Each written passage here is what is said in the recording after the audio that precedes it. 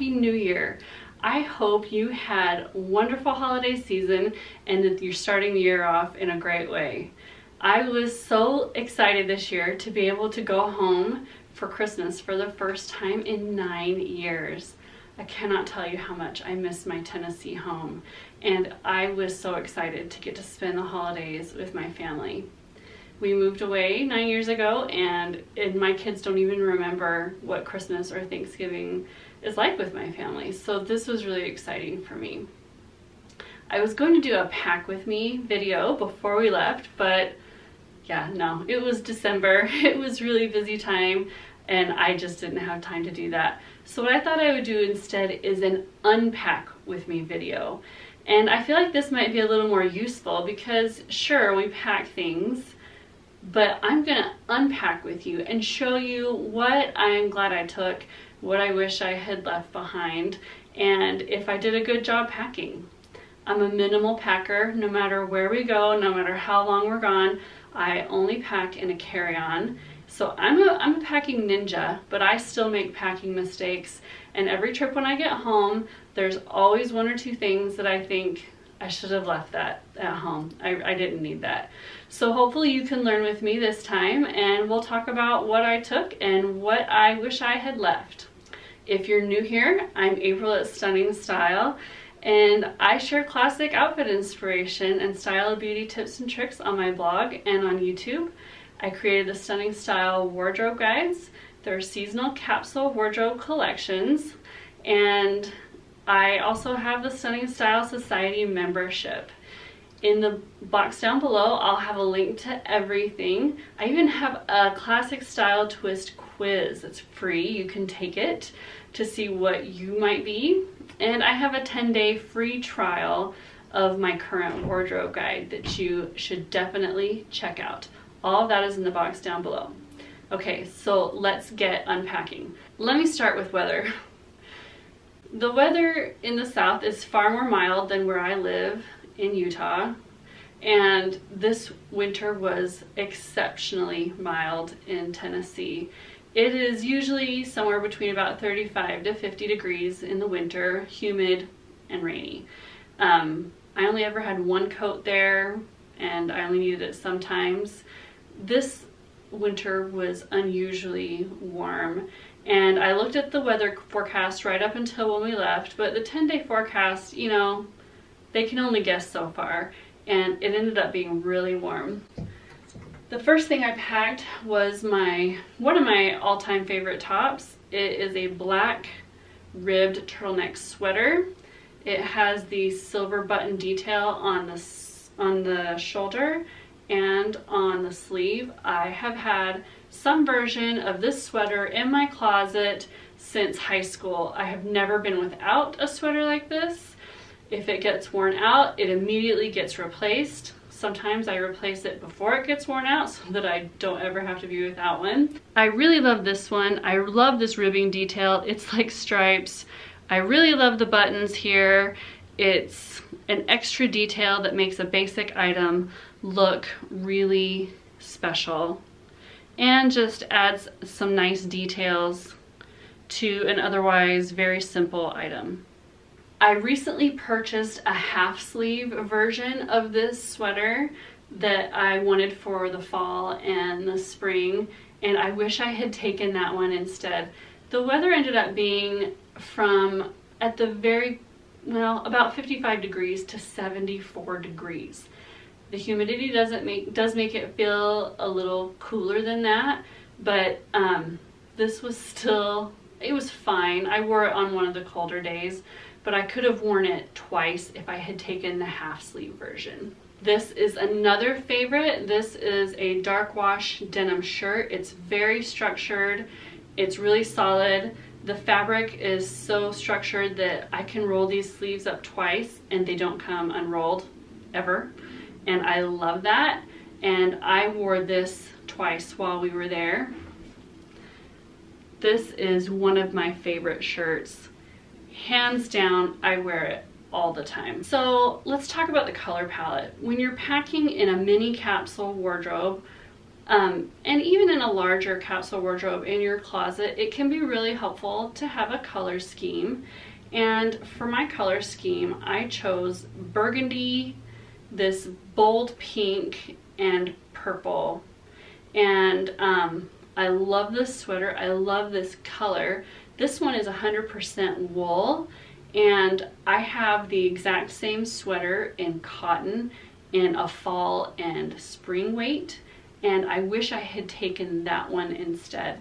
I did wear this on the coldest day of our trip, but I was still hot. Um, I'm, I run really cold. I'm very cold natured. I have, I don't know if I would call it a fear, but an aversion to getting somewhere and being cold and not being able to layer up and get warm. And so even though I knew the temperatures were going to be warmer, I haven't been in that kind of weather in such a long time that um, I did take a few things that were a little too warm for what I for where I was. So I'm glad I took a bold pink sweater. I just wish I had taken the fall and spring weight version instead. This was too hot. This burgundy sweater um, has appeared in the last two guides that I've done. It's from the fall guide and I carried it over into the winter guide because I just, I love it so much and I wear it so often that I wasn't ready to stop wearing it. This was perfect. This is a silk um, cashmere blend. It's very lightweight and it's definitely more of a spring and fall weight sweater and it was perfect for the weather while we were there and it was really, I wore it twice. It was perfect. This is a new addition to my wardrobe. I bought it just a few weeks ago, uh, but the weather here is way too cold to wear something like this right now. It is a J. Crew Tippi sweater. It's not from this year's collection. I got this on Poshmark and I just, I love the pattern. I love the colors. I love Tippi sweaters, period. Um, I have a whole collection of them in various colors, but it's so unusual for me to find a bold colored pattern and this diamond shape and this lattice really fits in with my edgy classic style.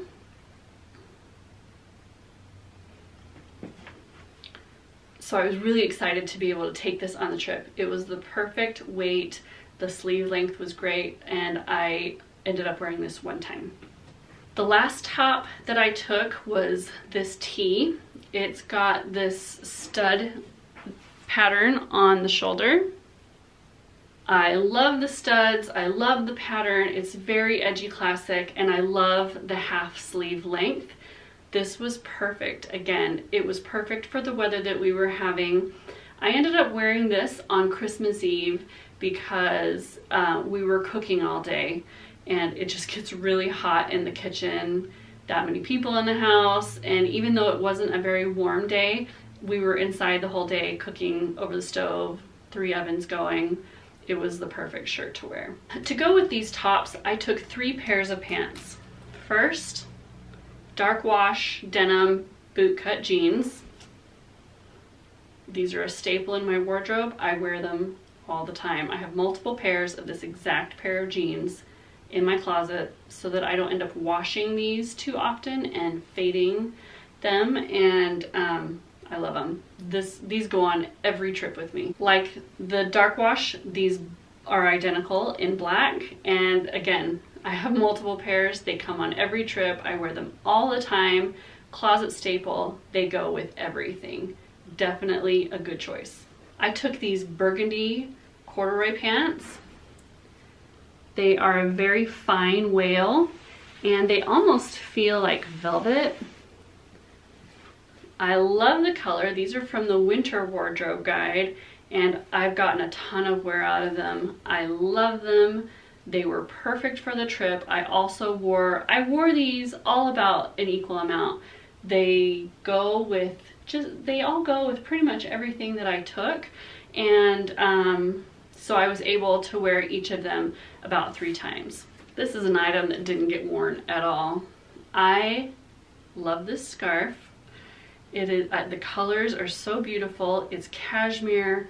It's like, it, it's beautiful. I love it. And it would have looked so good with several of the items that I packed, but it was there there was not a day that it was cool enough to be wearing a scarf like this and I kind of knew that before going but I'm just so smitten with it and I really wanted to wear it but no so this I could have saved some space in my suitcase and not taken it. Another category I ended up taking was a dress. We were there over a weekend, which means we went to church and at our church we dress up and I always wear a dress or a skirt and I opted to take a dress this time just because it's a one and done, super easy. And I took this dress. It is a favorite. I love the stripe down the sides. I love the varying width stripes here. It even has a zippered slit here and it's definitely, definitely me. My husband bought this for me a few years ago and he just knocked it out of the park. And anytime I wear this dress, I get stopped, asked, where did you buy it? What brand is it? How can I get one? I love this dress. It's very chic, very elegant, and very well made and I always feel fantastic when I wear it. The last clothing item I took was this cardigan. I'm not a huge cardigan wearer, but around the house, I do like to have a cardigan because I get cold. And instead of taking a wool weight sweater and a couple of these items that were a little more um, weather inappropriate for where I was going, I should have just relied on this. It is nice and thick and heavy, but it is a little oversized, which means it's great for wearing even over a sweater around the house for keeping warm. I mean, you could definitely wear this not in the house. I wore it on our travel days, partly because uh, the airplane is like a refrigerator, partly because this is quite bulky in my suitcase, and um, partly because I like it. It's soft and cozy and on a travel day that's exactly what I want. So it was really, I wore this every day. I wore it at night after I changed into pajamas. I wore it in the, I wore it every day, all day. I'd take it off and put it back on just based on my temperature. Like I said, I run colder than most people. So this, I take something like this on every trip, even in the summer because I get cold in the hotels, on the airplanes, and on buses and trains. This this always comes with me. For outerwear, I took one item. This is a packable down jacket. I wear this a lot.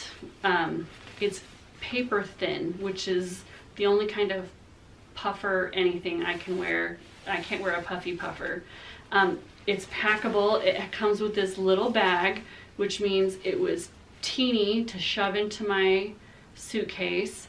Um, it was freezing when we left here and it was five degrees when we got back. So I wore this to the airport and then I took it off, packed it in a little bag, shoved it in the pocket of my suitcase.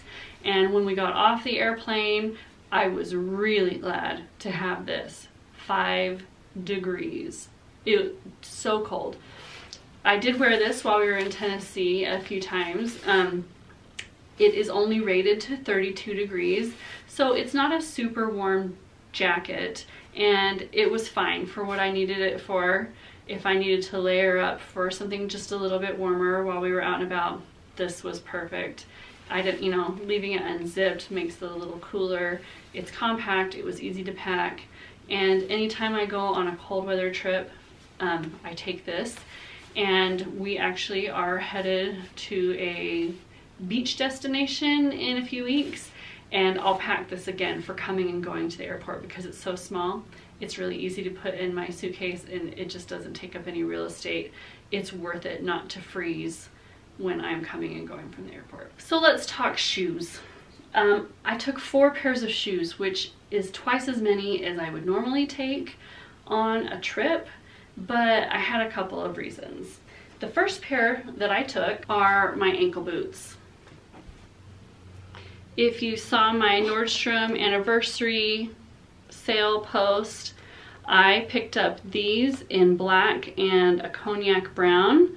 I love the stud detailing around the sole. Because I wear boot cut jeans, The only part of my boot that you see is the toe box. And on most boots, the interest is up here on the shaft or on the heel, and that's totally lost in my jeans and worthless. And when I saw these that had this studded detail around the front, it was subtle, but makes an impact. I had to have them. They were definitely an investment, but I wear these and the brown ones constantly, constantly. They are beautiful, beautiful leather, really well made, and they were worth every penny. I wear them so much and they will get wear for the next several years for sure. These were a great item to take, especially because it was rainy. Um, they're not rain boots, but I wasn't out walking in the rain. I was just coming going from places. So I definitely would not take suede to the south on in the winter, um, but I wore these a ton. The second pair of shoes I took are these silver flats. And again, these are a wardrobe staple for me. I wear them a lot. They're a D'Orsay flat, very classic, and I wore them several times. They were easy to slip on and off. So really, on a normal trip, I would have only taken those two pairs of shoes. I had to take a pair of heels to go with my dress, and I took these. They're a classic heel, but I love this little extra strap detail. I love these open vertical lines, like they're stripes, right? And I love the reptile skin heel. Definitely edgy classic, but very subtly so.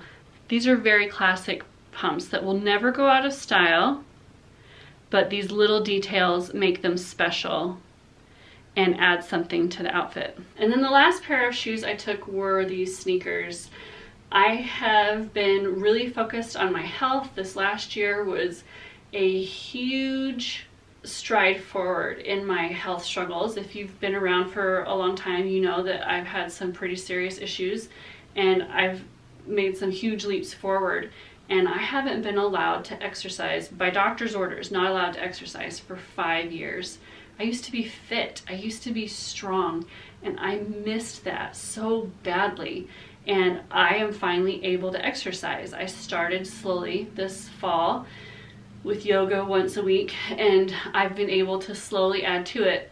So my husband and I wanted to be able to do some workouts while we were there. So I took my sneakers. Um, I did a few HIIT workouts and we also went on a family walk slash sprint intervals with the kids around the neighborhood. We would speed walk and then we would chase each other and race to the end of the block. And then we would walk and then we would sprint and race. And it was actually a lot of fun. Um, the kids wanted to outrun us and so far they can't, but those days are quickly coming to an end. Soon they'll be able to outpace us. But in, in the past, when I've taken stuff like this, it hasn't gotten touched.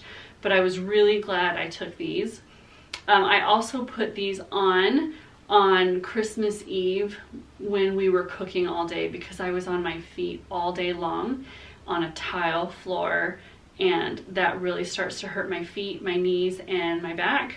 So these were really nice and supportive and um, I didn't end up with painful feet at the end of the day. So I'm really glad I took these. For accessories, I took two delicate necklaces for layering. The top one is a triangle pendant and the bottom one is the pave bar pendant from the Stunning Style limited edition jewelry collection. Um, it has the pave crystals on the front and then it's solid on the back. So it's reversible. I love that. Um, I love wearing these together. It's a very edgy classic combination. I ended up closing my jewelry shop for the last couple of weeks of the year because we were out of town and I took the rest of the year off. I wanted to spend those last couple of weeks of the year with my kids and then with my family in Tennessee. So I took that time off. Um, I do have just a handful of these pendants left and the shop is now open. If you want one, I suggest you grab it now because they won't be around for much longer. The second, then I took three pairs of earrings. First, I took this pair. They're hammered, they're stabby, they're vertical. They're, they don't, uh, they're a statement earring without being too overwhelming. Then I took this pair. They are um, an iridescent white agate. They're from Kendra Scott. I love these earrings. I wear them a lot. I've found that I've been wearing them a ton this winter. They remind me of um, an icicle and they feel very seasonally appropriate. The last pair of earrings I took are these hoops. They're Tory Burch with her classic T logo and um, I really love them. I wear them a lot and I love the the shape of them. I don't wear your standard round hoops. They're just a little, I don't do round. But my husband pointed out that these look like snowflakes and I guess he's right but I really love to wear them and I wore all three of these earrings in combination with these necklaces throughout the trip uh, many times I combined the two but I occasionally wore them separately just dependent on the the outfit and my mood that day. This is typically the maximum amount of jewelry that I would take on a trip with me. Um, I do keep it pretty minimal when I'm traveling with jewelry. Sometimes I only take one pair of earrings, but because we were at my parents' house, it was just a much more laid back trip. I, it felt easy enough to take the three pairs of earrings and both necklaces. My husband and I did end up working out while we were there and exercising together. And so I took two sets of workout clothes. I took these and a pair of black ones for bottoms. And then I took this top with a sports bra and another basic black top. And because we were in my parents' house, I had easy access to a washer and dryer. Two tops and two bottoms was perfect.